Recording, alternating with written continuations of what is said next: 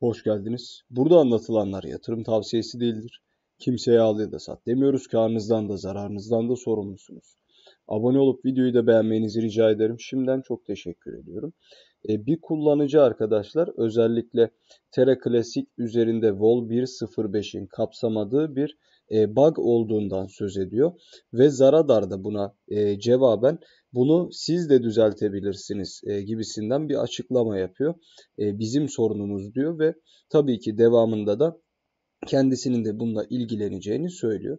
Şimdi Terra Classic'in özellikle e, açık kaynak oluşu arkadaşlar pek çok noktada aslında güven toplamış bir meseledir.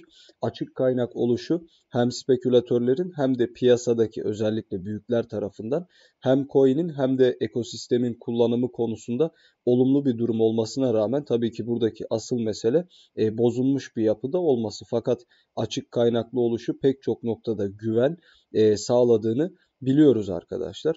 Dolayısıyla buradaki e, kodlar ciddi bir şekilde ne yapacaktır? E, topluluk tarafından ve Zaradar tarafından yeniden düzeltilecektir arkadaşlar. İzlediğiniz için çok teşekkür ediyorum. Abone olup videoyu da beğenebilirsiniz. Bol kazançlar dilerim izleyen herkese. Hoşçakalın.